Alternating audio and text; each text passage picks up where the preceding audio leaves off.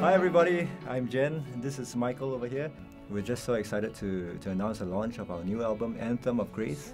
It was a pleasure working with the, the team here at New Creation. We spent a week here in this room. We pulled apart the songs and we, we tried the songs in every single key and every single uh, tempo and made sure that everything flowed perfectly. It was a grueling process, but I think that we, we came out with a lot of really good songs.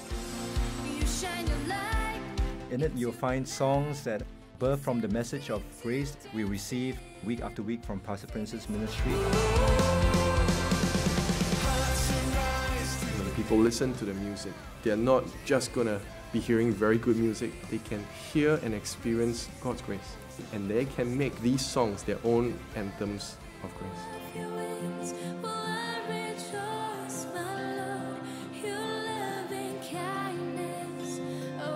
The benefits of creating a live album is that you can create a presence of worship that people should be able to hear if they're in the car or they're at home, uh, you know, about to go to sleep. It's amazing to see how much the worship's moved from the last time we did this to, to now, and hopefully we've captured it in, uh, in 10 songs.